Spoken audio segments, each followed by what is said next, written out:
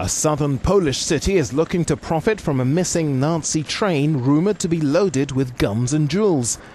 Treasure hunters have been beating a path to Wałbrzych since last week when photographs using ground penetrating radar confirmed its existence around Książ castle. It has all the elements of a good thriller, you know, a good adventure. Uh, you know, it's got gold, hidden trains, Nazis, uh, it's, you know, all the ingredients are there. So, yeah. Although authorities initially urged World War II enthusiasts and foragers to keep away, they're now trying to entice them to visit the city and join the hunt. The gold rush that spread, you can already say, around the world provoked us to organize an advertising campaign.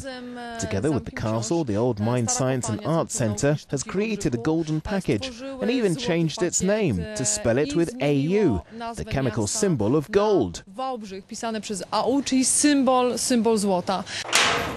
According to local folklore, the train entered a tunnel and never emerged. The big problem now remains how to get to the vehicle, as it's highly likely that mines around the site are still primed to explode.